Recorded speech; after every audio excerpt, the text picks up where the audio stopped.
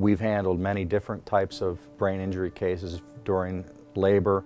The most common is that during the process of labor, the mother and the baby will start to have a problem with uh, a lack of oxygen getting to the baby. Uh, it could be a cord wrapped around the baby's neck. It's really, most of the time, the issue is the failure of the hospital nurses and the physician to recognize that the baby is in trouble.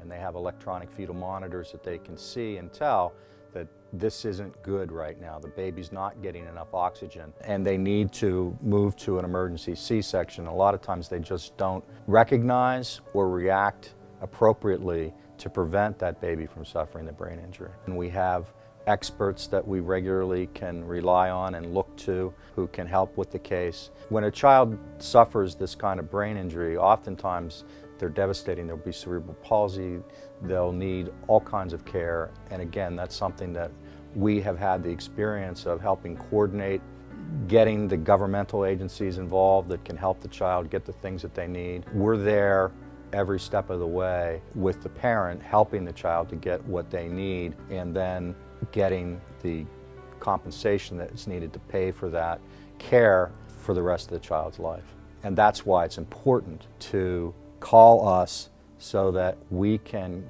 help you get the funds that are needed to get the care that this child needs.